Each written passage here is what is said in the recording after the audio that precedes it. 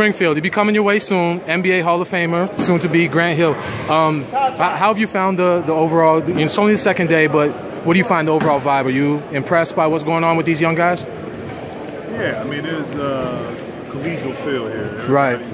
Together, working on a common goal. Really, it's a credit to Jerry Colangelo, uh, Coach K, uh, their vision for this, this, this program, building a culture, a team.